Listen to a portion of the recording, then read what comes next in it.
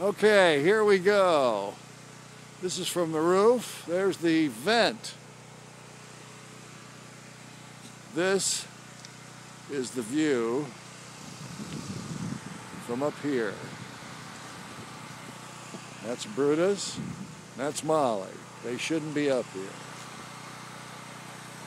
There was nothing out here forever.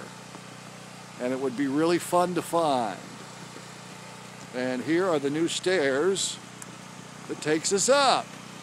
It's really cool. Anyway, there's the view. Sorry about the thumb. There's Tom. Wave Tom. and we're out of here. See ya.